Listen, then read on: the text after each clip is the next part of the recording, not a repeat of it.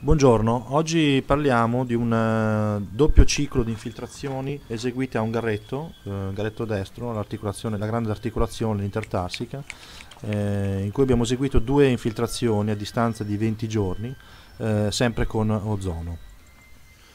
Ecco, mentre vediamo nel frattempo la disinfezione con betadina curata del, del garretto, il cavallo è un cavallo in piena attività agonistica, 4 anni, trottatore, e, mm, il, il, il, protocollo è stato il seguente: in seguito a una risposta alla flessione del garetto destro, abbiamo deciso di infiltrarlo appunto nell'articolazione intertarsica con ozono, che come potete vedere sto caricando in questo momento nel, nel macchinario. E, mh, mm, la prima infiltrazione è stata eseguita eh, circa 20 giorni eh, prima del eh, secondo ciclo. Approfitto per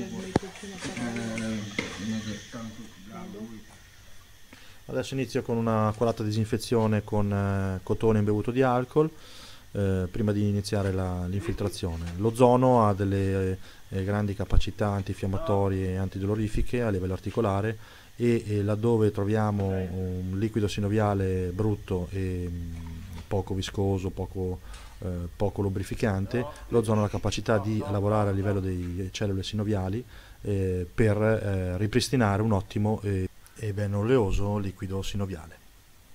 Come si può vedere dall'immagine il liquido sinoviale è molto infiammato, rosso sangue, eh, ciò denota una, una, elevata infiammazione dell'articolazione.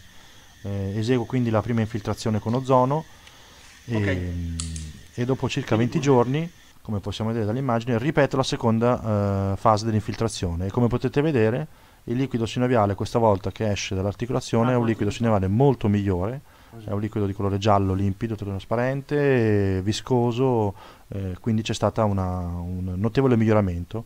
E anche in questo caso ripeto l'infiltrazione come la precedente con eh, la stessa quantità, la stessa concentrazione di ozono. Rosso. Ah, ero bruttissimo.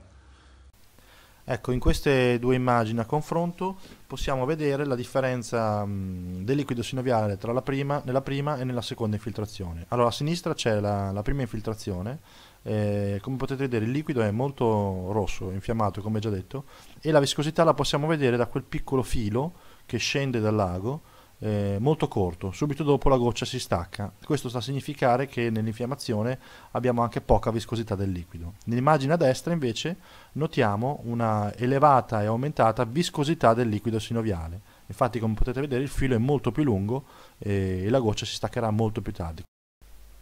E anche il colore è notevolmente migliorato eh, perché siamo passati da un rosso sangue ad un giallo paglierino trasparente. Tutto questo dimostra il notevole miglioramento eh, che abbiamo avuto grazie all'infiltrazione con ozono.